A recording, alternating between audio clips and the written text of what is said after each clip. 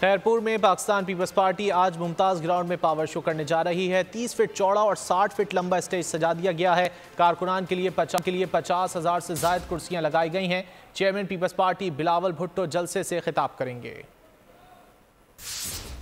Peoples party सियासी power show करने जा रही है। खैरपुर के मुमताज़ ग्राउंड में जो है पीपल्स पार्टी की जानब से जलसे के इंतज़ाम मुकम्मल कर लिए गए हैं। यहाँ पर जो है तीस फुट चौड़ा और जो साठ फुट लंबा जो है, यहाँ पर स्टे लगा दिया है, जहाँ पर पीपल्स पार्टी के चेयरमैन बिलावल भुटो जरदारी जो है, अवामी जलसे से खिताब करने अगर बात की जाए, यहाँ पर कुर्सियों की तो पचास हज़ार से ज़ायद यहाँ पर कुर्सियाँ लगा दी गई हैं। यहाँ पर जो सिक्योरिटी के इंतज़ाम हैं, वो भी इंतहा वो भी इंतहाई तौर पर सख्त कर दिए गए हैं। अगर यहाँ पर बात की जाए जलसे की तो यहाँ पर पीपल्स पार्टी के जो मकामी रहनुमा है, यहाँ पर उनकी आमद का जो सिलसिला है, वो जारी है। यहाँ पर जो है कारकुन भी यहाँ पर पहुँच रहे हैं। अगर बात की जाए, यहाँ पर मंजूर हुसैन वसान की जानब से बयान दिया गया है कि यहाँ पर जो है पचास हज़ार कुर्सियाँ जो रखी गई वो इन पर कम पड़ जाएँगी। यहाँ पर जो है लाखों की तादाद में आवाम पहुँचेंगे, जबकि मोहतरमा बेनज़ीर भुट्टो साहिबा ने जो है इलेक्शन के हवाले से यहाँ पर जो है अपना सियासी पावर शो किया था। उसके बाद जो यहाँ पर आज पीपल्स पार्टी के चेयरमैन बिलाल भुट्टो जरदारी जो है अवामी जलसे से खिताब करेंगे और यहाँ पर जो है अपना सिंध में जो है पहला जो है सियासी जलसा आम से यहाँ पर आवाम से जो है खिताब